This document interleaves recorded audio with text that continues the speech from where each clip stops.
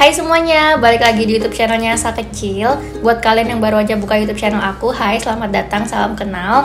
Nama aku Asa, aku banyak banget bikin video di YouTube channel aku. Jadi kalau kalian suka sama konten-konten yang aku bikin, please subscribe to my channel. Di video kali ini seperti yang ada di judul dan di thumbnail, aku mau bikin DIY lagi, yeay! Jadi aku mau nunjukin ke kalian gimana caranya bikin tas ini. Aku nggak tahu ini namanya tas apa, apakah ini namanya tas rajut atau bukan tapi kayaknya bukan deh. Kalau aku lihat di internet ini tuh kayak namanya canvas plastic bag. Aku nggak tahu namanya tuh sebenarnya apa tapi aku bakal bilang ini DIY bag aja gitu ya. Ini tuh bikinnya gampang banget guys. Kalian nggak perlu punya skill menjahit kalian nggak perlu punya skill merajut. Kalian cuma butuh kepercayaan diri aja. Tempat beli semua alat dan bahan bakal aku taruh di description box. Yaudah gitu aja selamat menonton. Semoga video ini bermanfaat buat kalian